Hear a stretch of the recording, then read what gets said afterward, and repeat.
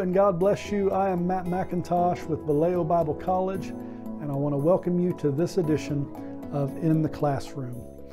We pray that you're walking strong in the Lord and continuing to grow in grace, which just happens to be the very subject we want to focus on today. We have a wonderful episode in store for you as we'll be examining the seven biblical virtues uh, to spiritual maturity. And this is definitely going to be something that you will want to hear as it benefits Christians of every age, experience, and maturity level.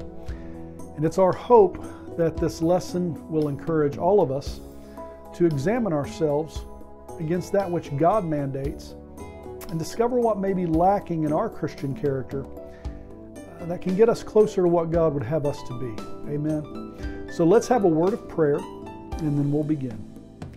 And Heavenly Father, we come before you now in the name of Jesus. And Lord, we thank you for this opportunity just to learn and to grow in grace and in the knowledge of you.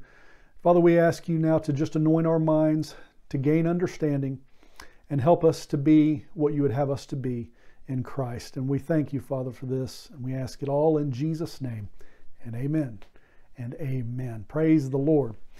We're going to take our scripture reading today from 2 Peter chapter 1 this portion of text is addressed to the New Testament church, extending to the present times we're currently living in. Peter opens this book by citing that God, according to his divine power, has given unto us all things that pertain unto life and godliness, through the knowledge of him that hath called us to glory and virtue, and that through the exceeding great and precious promises of God, we might be partakers of the divine nature. Now, his subject matter turns here to a set of seven particular virtues that are outlined in a very specific and important order that will ultimately equip us to partake of such a divine nature that is now possible through Christ. So let's pick up now in 2 Peter chapter 1 verses 5 through 7. And the Bible says this And beside this, giving all diligence, add to your faith virtue, and to virtue, knowledge, and to knowledge, temperance, and to temperance, patience, and to patience, godliness, and to godliness, brotherly kindness, and to brotherly kindness, charity. To begin, we need to understand that these virtues are prioritized according to the Word of God for the very important reason of obtaining all of them. And as we will see, the commencing virtue is first necessary to achieve in order to come to the full realization of the subsequent virtue. We know this is true because the scriptures themselves teach us to add to the previous, which means the previous must first be acquired. This process is quite incredible. God knew exactly how each virtue would supplement the next in order for us to maximize them all.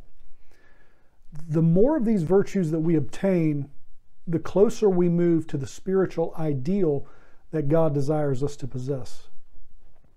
The earlier acquired virtues are of equal importance to those virtues which are later and may seem greater uh, for lack of better terminology, uh, as they almost build off of each other in order to blossom to their fullest extent. Now, consider a building for an analogy of this. A building is greater than the bricks required to make it, yet the building does not exist without those bricks. All parts must be equally respected if the building is to be strongly constructed including the building process, which these virtues demonstrate. Let's look now to the biblical progression. Peter begins by instructing us to add to our faith. Now, this is important because faith is the foundation that these seven virtues must be built upon. Moreover, it is taken for granted that faith is had in possession, which signifies that this is addressed to believers. Because without saving faith in Jesus Christ, we are not children of God. And any attempt to try to achieve these virtues without Him would be in vain. So let's look now to number one. The first one that Peter starts with is virtue itself. Add to your faith virtue. Virtue in the original Greek means moral goodness and excellence, but not just any kind. It is that moral distinction which is patterned after God's standard that we are called to embrace. And only the Holy Spirit can guide us in this standard, and is now free to do so, seeing as we have received the Spirit when we believed. And it makes sense that this virtue is the first of these seven. The fact that we uphold God's standard regarding sin, regarding righteousness, after we get saved, as we are certainly supposed to do, is one of the most basic and elementary evidences of our salvation. And it's also proof of the Spirit's indwelling. Alongside the truth that the Spirit of God is able to empower us for anything that God wills, including the resistance to sin and the embracing of righteousness. So the first step is to simply be obedient to follow the moral character of God as the Spirit leads us. Until we learn this most basic rule of obedience, we cannot progress forward. Number two, it is this newly gained virtue that should lead us to seek the most fundamental thing that a Christian should seek, and that is knowledge. Add to your virtue knowledge. Now, whereas virtue is aided by the Spirit within us, knowledge must be sought, and sought first and foremost by the Word of God. That is what this virtue should center around knowing your Bible. Uh, virtue is defined as moral goodness and excellence, but knowledge is defined as moral wisdom and direction. So while virtue aims at the heart, knowledge aims at the mind. This is why knowledge is and must be the second step. It is by knowledge contained in the Word of God that our virtue is enhanced with instruction, direction, and purpose. God's Word is God's will explained. Okay? God's Word is God's will explained. Therefore, without the Word of God, we will never genuinely know the mind of God, nor the anchor it serves as to keep us immovable regarding that which is God's will. And what this world needs now more than ever is Christians who study their Bibles and seek to know the mind of God. And to give some indication as to how important this virtue is, according to Hosea chapter 4 verse 6, God's people are destroyed for a lack of knowledge. Number three, we then add to our knowledge temperance. Now, temperance may arguably be the most underrated virtue of all when you begin to understand how life changing it can be when it is taken seriously. Temperance in the Greek is self control, especially regarding continence and sensual desires as a people called into holiness and sanctification, our carnal senses and inclinations must be brought into subjection. Since being born again does not remove these fleshly desires that war against the spirit. Unfortunately, many people have tried to justify sins because of that. But virtue and knowledge alone negate any justifications for sins of any kind.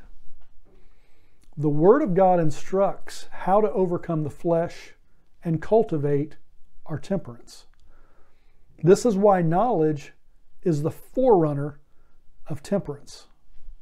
When we begin to understand that a lack of temperance is a wellspring for sin to flourish, it's no great wonder that temperance is prioritized as the third of these seven. Consider this that practically every sin imaginable could be avoided by way of self control. I mean, think about it.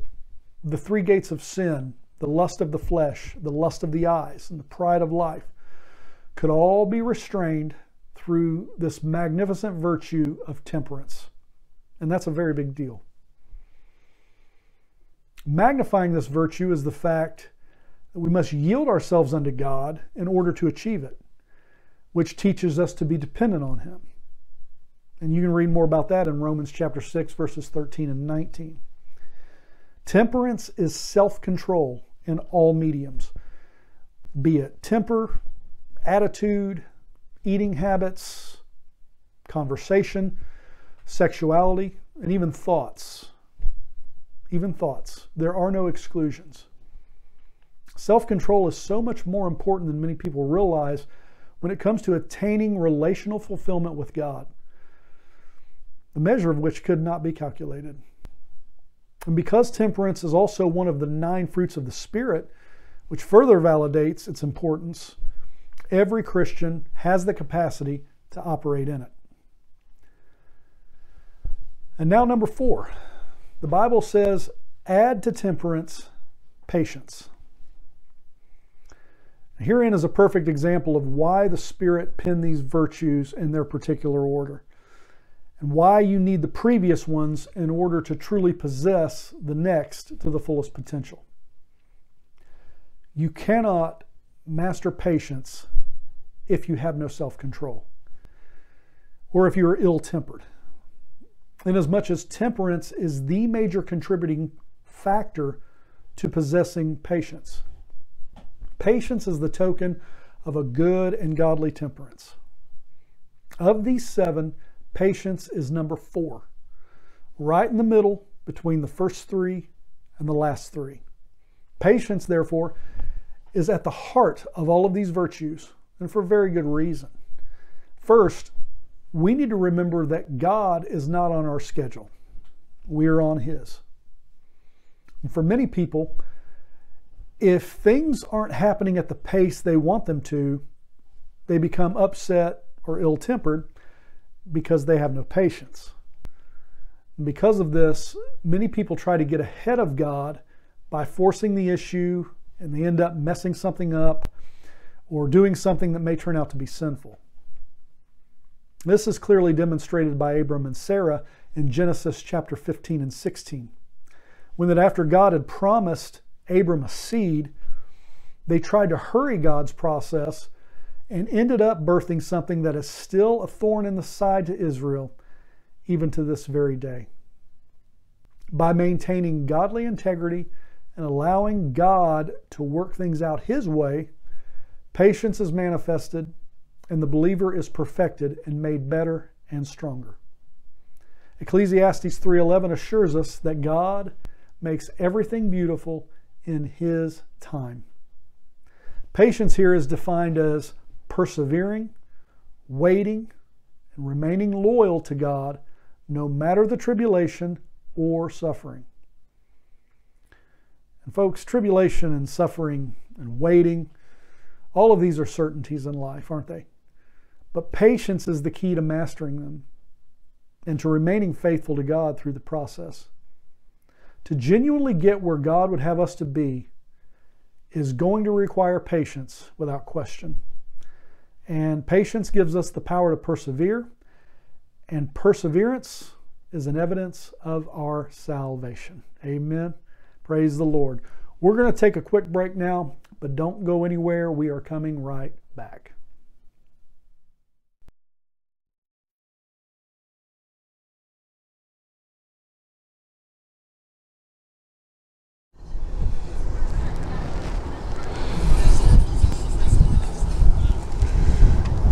I want a better life.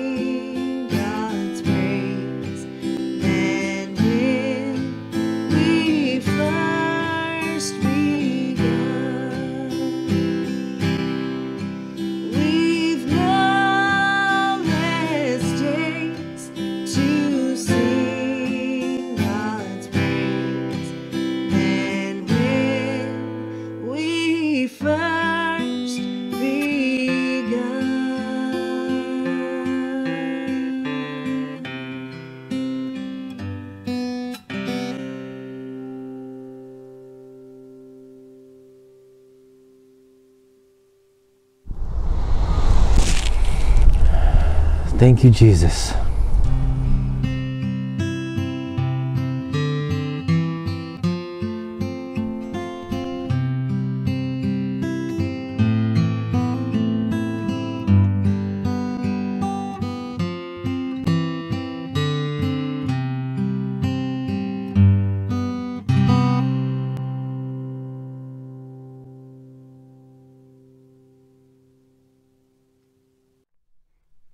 Welcome back. We are currently discussing the seven biblical virtues to spiritual maturity. And we are now coming to number five. The Bible says, add to patience godliness. Ironically, it isn't until number five of seven that godliness comes into view. Based on the priority of this list, it's not until Christians acquire virtue, knowledge, temperance, and patience that they can justifiably be classified as godly, at least in the experimental sense. And this is a very sobering truth and should also be very humbling for us all. For instance, far too many Christians fall short of godliness for failing to possess just the second of these seven knowledge. Because maybe they aren't studying their Bibles as the Word of God instructs and know practically nothing about what the scriptures teach. 2 Timothy 2:15 says, "Study to show thyself approved unto God." Not approved unto man, approved unto God. And I'm not saying this to try to shame anybody, only in hopes of stirring our hearts to do better.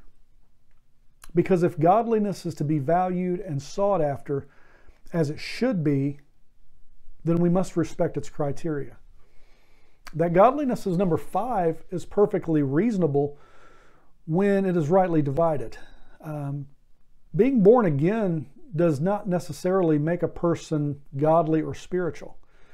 Positionally, yes, but experimentally, no. In 1 Corinthians chapter 3, verses 1 through 4, Paul plainly asserts and demonstrates that there are both spiritual and carnal Christians. The Greek word is defined as piety, reverence, and respect, and it is derived from the Greek word meaning devout and dutiful. It's important to recognize that all these meanings are aimed at our conduct toward God. In the simplest of definitions based on these meanings, godliness is the obtaining of a higher standard of godly conviction and conduct pertaining to the things of God. So, in the context of the meaning, to be godly is this to forsake the world and worldliness, to not be partakers of things that would bring confusion, stumbling blocks, or offense to the gospel of Christ, to live a sanctified and a holy life, to be devoted to God in prayer and study and conforming as close to the scriptures as possible, to hold God first in your life, above all others and all things, to be immovable in your convictions and not allow yourself to be influenced by the world, but rather try to be the influence unto them. Uh, that is the godliness that's being called out here in this scripture.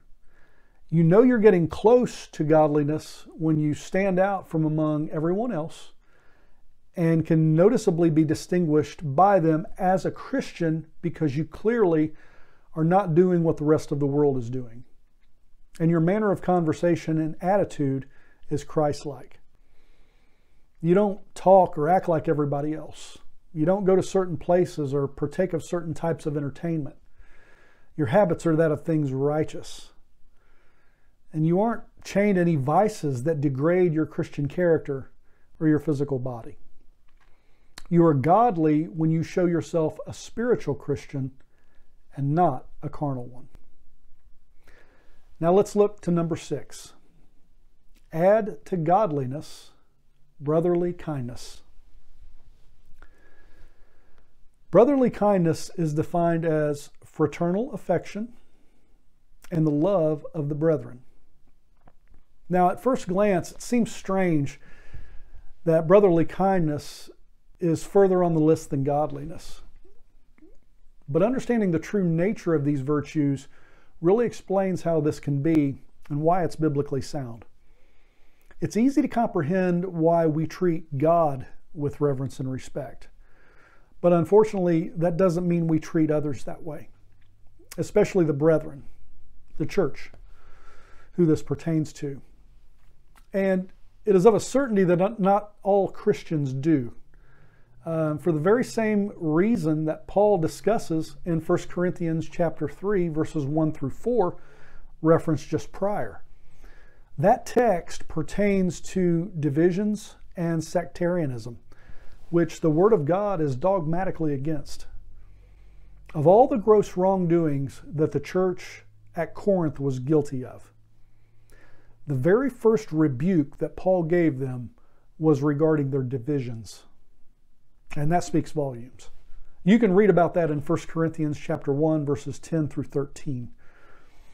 Divisions can form for any number of reasons, even within individual churches, and they usually only reap negative results. It is a natural human inclination to form judgments against other Christians who don't do everything exactly the way we may do, or who are not in our clique or our denomination. Sadly, it's often the case for some that holiness has come to mean holier than thou. Before long, a contempt or a division has developed for no other reason than trivial differences, and brotherly love is destroyed.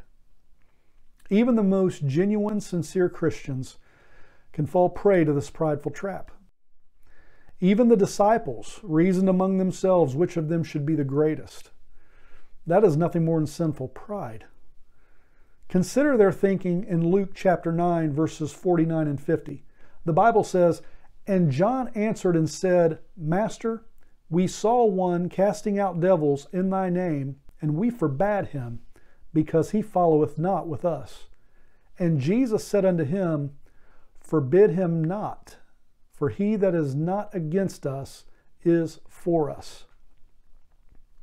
According to the scriptures, one of the main proofs of genuine children of God is their love of the brethren. The Bible makes no distinctions. It refers to all of the church, not just some. 1 John 3, verse 10 says, In this the children of God are manifest, and the children of the devil. Whosoever doeth not righteousness is not of God, neither he that loveth not his brother. 1 John chapter 3 verse 14 says, "We know that we have passed from death unto life because we love the brethren.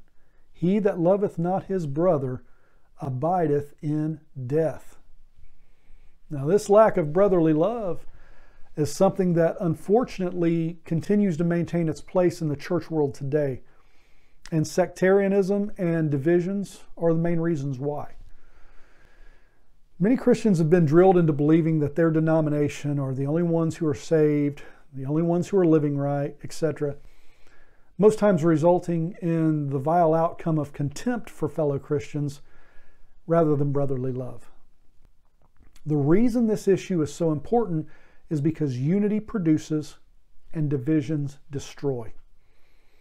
The church can never grow to its fullest potential if it is divided, and souls will ultimately be lost.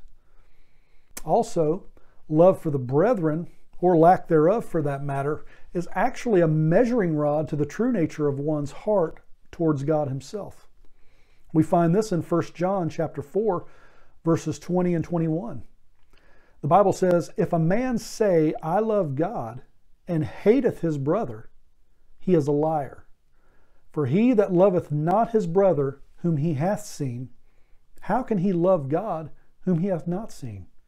And this commandment have we from him, that he who loveth God loveth his brother also.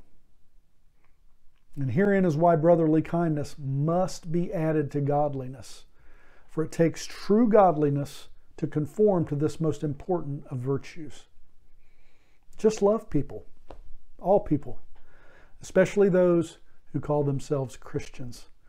If they are born again and have put their faith in Christ alone for their salvation, then they are of the household of God and should be treated and loved as family, regardless of what the name is over the door of their church. Amen. And finally, the seventh and final step. The Bible says, add to brotherly kindness charity. Now, the Greek word here means love, but the meaning is far more significant. This love stated here is agape love. Agape love. It is the deepest and godliest love of all. One of the greatest distinctions of agape love is that it is completely selfless and always puts the interests of others first. It's in it is in this distinction that the love of God and the example of Christ are the most demonstrated. When the Bible says in 1 John 4 8 that God is love, agape is the love it is referring to. So it's no great wonder that in order for such a love to actively thrive in the Christian, these previous six virtues need to be present. When we genuinely love the brethren, all the brethren, it is a convincing proof that we have within us the capacity to love such as this. When we lack virtue and knowledge and temperance, when we lack patience and godliness and brotherly kindness, it stands to reason that we would also lack agape love. To possess this virtue is to love the unlovable, uh, to continue to love others when you are hated and persecuted by them. Agape love crescendos the maturity of the Christian because it conforms us as close to God as we can possibly get for a human being and equips us to handle any situation that comes our way. This is why the Bible boldly declares in 1 Corinthians 13 8, charity, which is agape love, never fails. So, this final virtue that the Word of God places it even above the pillars of faith and hope, that's how great this virtue is. Uh, seven is God's perfect and complete number. And the attaining of this seventh virtue is necessary to make us a complete Christian, properly conformed to the image of Christ. It doesn't mean that we have achieved flawlessness. No, far from it. But we have certainly attained that which is necessary for proper Christian living that is approved of God and pleasing unto Him. So, in closing, here is the result of adding these seven virtues to your faith. These are the subsequent verses of our subject matter, and I'm going to let them speak for themselves to close the episode. This is 2 Peter chapter 1. This is verses 8 through 11. The Bible says this For if these things be in you and abound, they make you that ye shall neither be barren nor unfruitful in the knowledge of our Lord Jesus Christ. But he that lacketh these things is blind, and cannot see afar off, and hath forgotten that he was purged from his old sins. Wherefore, the rather, brethren, give diligence to make your calling and election sure. For if ye do these things, ye shall never fall. For so an entrance shall be ministered unto you abundantly into the everlasting kingdom of our Lord and Savior, Jesus Christ. Well, we hope you've enjoyed this edition of In the Classroom, and we thank you so very much for watching. You can view this episode and others on our YouTube channel. God bless you.